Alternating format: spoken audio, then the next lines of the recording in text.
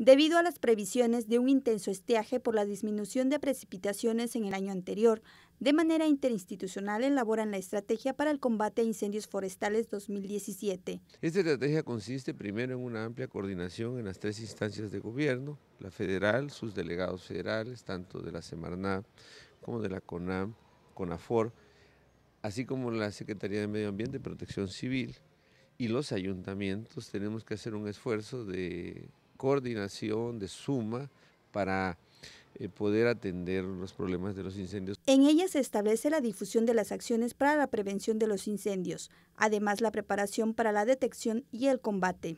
Y debido a que el mayor número de fenómenos que se registran son consecuencia de malas prácticas del propio ser humano, las autoridades hacen un llamado a la población. Entonces, ¿qué tenemos que hacer? Tener el cuidado de no provocarlos. ¿Cómo provocamos un incendio? Cuando arrojamos colillas, cuando hacemos fogatas o cuando hacemos uso del fuego para cuestiones de, de, orden agropecuario y no tenemos las medidas preventivas. La estrategia está prevista para ser presentada a la población por el gobernador del estado el próximo 25 de enero.